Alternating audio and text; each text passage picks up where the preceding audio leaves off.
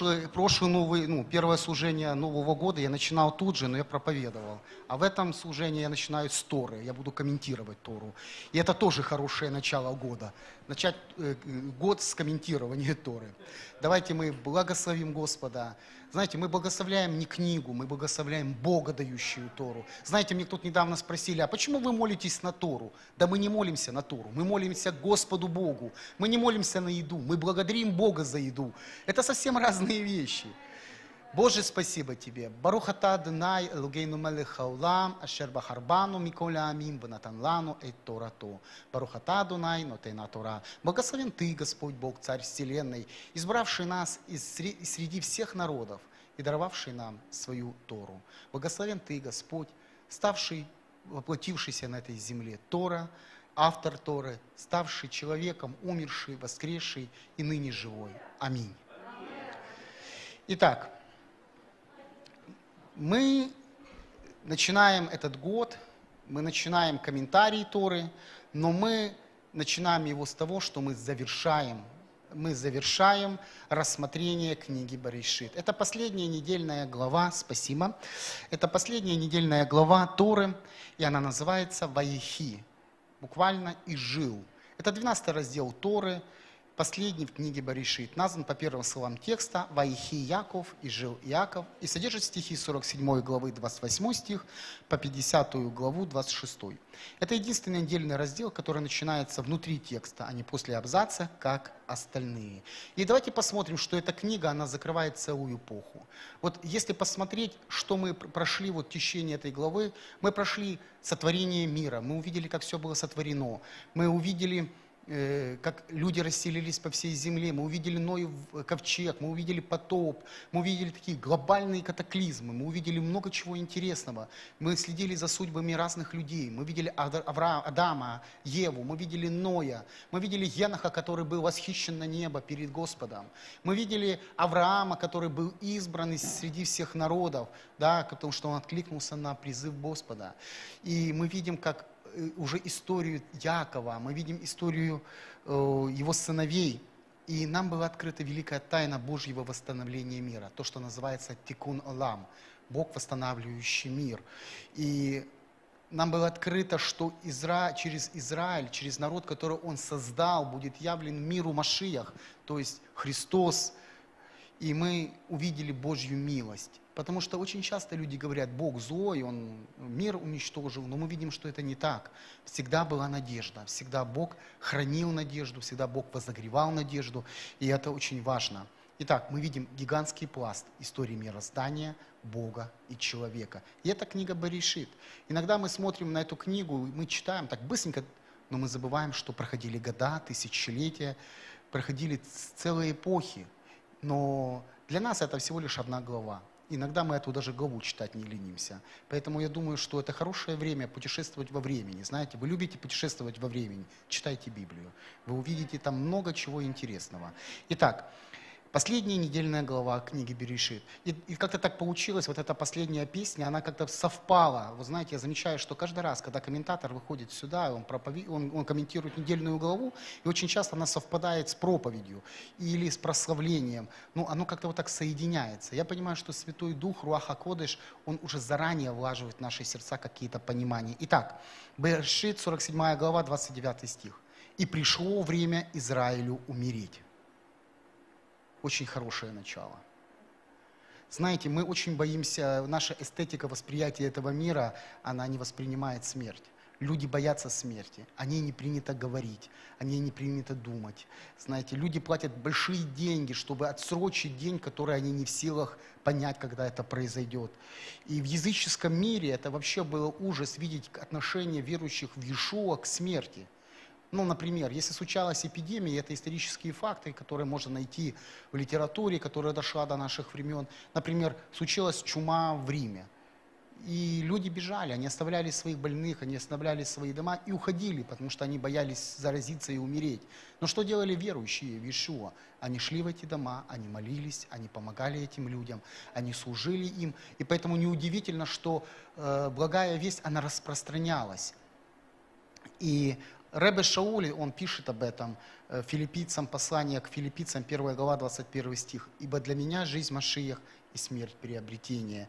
Человек смертен. В каждое время мы войдем через эту дверь в вечность и перестанем перед своим Творцом. И как пишет э, самый мудрый царь, который жил на этой земле, Шлойма, Соломон, в книге «Экклезиаст», «И возвратится прах в землю, чем он и был, а дух возвратится к Богу, который дал его». И, знаете, еврейские мудрецы, один еврейский мудрец талмудической эпохи времен второго храма написал такую эпитафию, которая можно опять же найти в, в Мишне. Он написал, что Святой Отец Всевышний, научи меня так размышлять от смерти, чтобы обрести жизнь. И вот сегодня мы пели песню, мы пели «Аллилуйя», да, Иешуа, воскресший царь, «Аллилуйя», смерть побеждена. И знаете, они знали секрет, первые верующие. Они знали секрет, эти мудрецы, что смерть – это только начало. Смерть – это вход в вечность. Смерть – это… Я объясню, почему это. И я попробую раскрыть этот момент именно по этой недельной главе. Смотрите, есть вечность и есть быстротечность. Мы проходим через эту быстротечность, чтобы войти в вечность. Ишо, дверь, да, смерть побеждена. И он говорит, входящий в меня что? Найдет жизнь вечную. Итак, мы знаем, что Манасия и Ефрем, да, они были кем? Они были сыновьями, во-первых, Иосифа, и они были родоначальниками двух еврейских колен. Правильно? А теперь давайте порассуждаем. Скажите мне, кто у них был папа? Иосиф, еврей. А кем была у них мама? Египтянка, дочь жреческого жреца. И смотрите, и самое интересное, что по нашим современным понятиям они-то и не были евреи, его сыновья. Мама-то не еврейка. А тут, получается, он приводит к Якову своих сыновей, и он воспринимает их как? Как своих родных. Он говорит, теперь они будут моими сыновьями. Так сказал? Судя по тексту. И смотрите, ну, конечно, есть, я читал о году, ну, такая история выдуманная, что э, его жена Иосифа, видя, как каждое утро Иосиф одевает филин, э, совершила гиюр, но это все-таки сказки. На самом деле, э, Ешуа, вот, э, когда приводит он своих сыновей к Якову, потому что Яков уже готовится умереть, Яков говорит так, и я так тебя и в живых застать не надеялся. То есть он говорит своему сыну Иосифу. А вот вижу твоих детей. Не надеялся на иврите звучит как ло пилальти. И этот корень пл звучит в слове лех, лехит палель, молитва. То есть надежда и молитва, они связаны между собой. Надежда и молитва, они соединены. Смотрите, что говорит об этом Рашар, Рави Шамин, э, Шимшон бен Рафаэль Гирш. Что означает молитва в еврейском понимании? Молитва в еврейском понимании начинается не в душе человека, она в ней преображается. Но начало ее пути там, там, где и окончание, у Бога. Иногда мы думаем, что это наше, мы разумом пришли, увидели нужду и начали, вот. Нет, Бог посылает нам эти молитвенные слова в наши сердца, для того, чтобы они прозвучали и исполнили то, для чего они были посланы. Книга Исаия, 55 глава, 10 и 11 стих. Как дождь и снег не сходит с неба и туда же не возвращается, не напаяя землю и делает ее способной рождать и произвращать, чтобы она давала семя тому, кто сеет, и хлеб тому, кто ест, так и мое слово, которое исходит из уст моих, оно не возвращается ко мне тщетным, но исполняет то, что мне угодно, и совершает то, для чего я послал его. Итак, Молитва – это настройка человеческой души на чистоту вечности. Мы приходим в невидимое, мы приходим к невидимому Богу, да, и мы соединяемся с Ним. То есть и он создает вот этот, знаете, резонанс, он создает вот это единство. И когда мы прикасаемся к вечности, нам не надо бояться смерти, потому что мы понимаем, что там вечность, там жизнь, живой Бог. И эта смерть нам не страшна, потому что мы знаем живого Бога. Это близкие отношения с Богом. Сегодня мир погрузился в страх. Сегодня мы боимся. Сегодня мы переживаем за какие-то моменты. Но если мы знаем живого Бога, если мы знаем Бога, который в реальности такой, какой Он есть, чего нам бояться? Мы знаем, что здесь мы на короткий миг на земле, да, мы в шаге перед вечностью. И нам надо прожить эту жизнь, как говорил один советский писатель, чтобы нам не было мучительно больно за прожитые годы. Хотя он эту идею взял у кого-то другого. Понимаете? Итак, мы смотрим, что мы видим. Мы видим надежда, молитва, да, и мы видим, что Бог хочет, чтобы мы стали уже частью запредельного. То есть здесь, на земле, соединяясь в молитву с Богом, мы перешагиваем вот эту границу, и мы приближаемся к вечности. Итак, еще один очень важный момент. Вы знаете, что вы хотите исцелиться? Вы хотите, чтобы ваши души получили исцеление? Все хотят. Все хотят, поэтому в мире очень много у нас психологов, психотерапевтов, всяких людей, всяких шарлатанов. Ну, я не говорю про психологов, психотерапевтов, но среди них тоже это встречается. И смотрите, лечение человеческой души, психа, это очень тонкая грань. И каким же образом это может произойти? Соединяясь с Богом, соединяясь с предвечным, Он берет нашу, наш, на, наш, вот эту тонкую материю и исправляет ее.